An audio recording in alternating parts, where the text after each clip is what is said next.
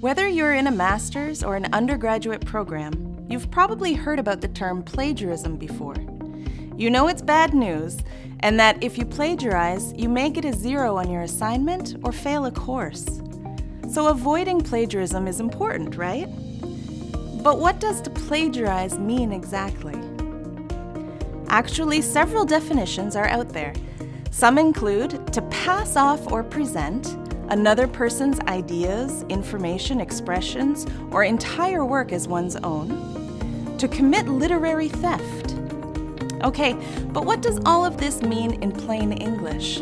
Let's get into it. Basically, it means that you must do your own work, submit original work, contribute your own thoughts and ideas, quote and paraphrase according to assignment requirements, and always give credit to all works and ideas that you borrow. Here are four quick pointers to help you keep on track. Number one is time management. We know student life can be challenging. Juggling all your academic work, the papers, projects, assignments, and exams you get throughout the semester, with a job, responsibilities at home, and your social life is a lot to take care of. It can be tempting to take dangerous shortcuts like buying a paper online, copying your friend's essay, reusing a paper you wrote before, or cutting and pasting information without giving credit. But honestly, what will you learn by doing any of these things? Not much. And you risk losing points or getting a zero on your assignment, losing credit for a course, getting a permanent note of plagiarism on your academic record, or possibly even being expelled from MSVU. So instead, learn to manage your time more effectively and avoid procrastination by using the resources that we've prepared for you. To improve your time management, you can find help in Mount 101, Groodle, or by contacting the Learning Strategist. This will allow you to manage your stress levels so that there's no temptation to take a dangerous shortcut. You'll be able to get your work done and still enjoy time with your family or an evening out with your friends. The second pointer is about making sure you understand your assignment. So here's the scene. You look through the requirements for your assignment and feel that you don't even know where to start. This is the perfect time to make a list of what you understand and what you need clarification on.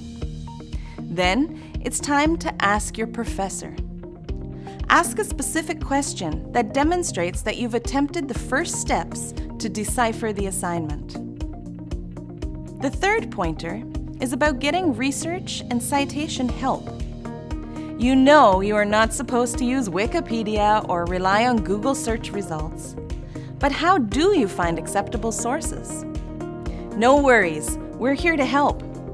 Check out our General Research Help Guide and FAQs for information on how to search for books, ebooks, and articles.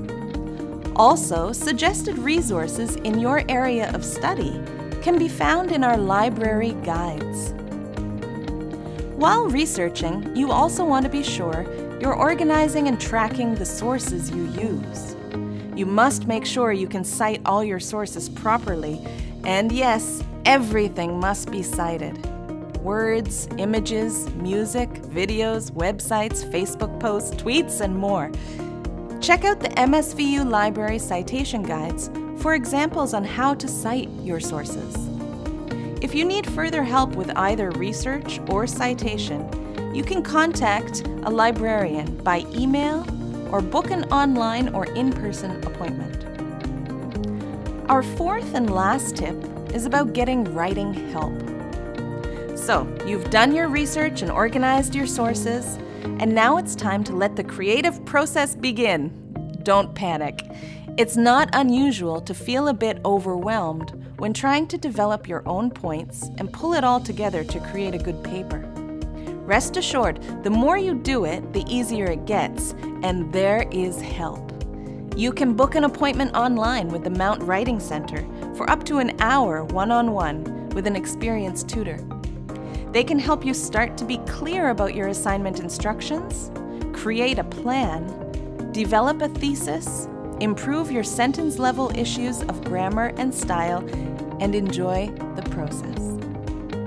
Another place you could turn if English is one of your additional languages is the International Education Center, which has English language tutors available to help develop your proofreading and editing skills.